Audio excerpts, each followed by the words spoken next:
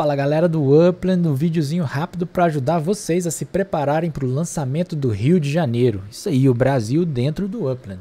Vamos lá, dica número 1 um, e muito importante: junte o máximo de UPX que você conseguir para ir para a cidade nova, que está cheia de oportunidades bacanas para você usar o seu UPX com sabedoria. Então, junte o máximo de UPX que você conseguir para o lançamento do Rio de Janeiro. Segunda coisa, como que a gente chega no Rio de Janeiro, né? A gente vai ter quatro aeroportos internacionais para pegar o voo até lá. O primeiro, Nova York, depois Los Angeles, Chicago e São Francisco. São as quatro cidades que você pode pegar um voo até Rio de Janeiro. Chegando aqui, eu tenho três dicas para você que você tente fazer pelo menos uma delas, se possível.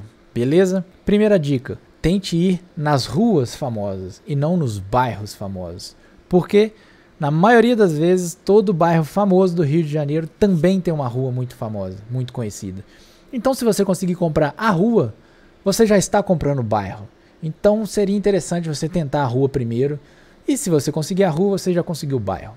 É, a gente tem ruas importantes aqui, como a Vieira Solto, como em Ipanema, a Avenida Atlântica em Copacabana, né? a Praia do Flamengo. Tem várias ruas importantes que estão dentro de bairros importantes. Dica número 2: tente comprar pelo menos três ou quatro em bairros diferentes, porque se você não, aceita, não acertar algum bairro, você acerta um outro. Quanto mais propriedades você espalhar, mais probabilidade de acertar uma coleção você tem. E dica número 3: tente achar as propriedades mais baratas possíveis. Se você, principalmente se você está começando o jogo agora, comprar propriedade barata vende fácil. 1000 PX, 2000 PX, 3000 PX, compra que a venda vai ser fácil. Beleza? Espero que tenha ajudado vocês e bora pro Rio.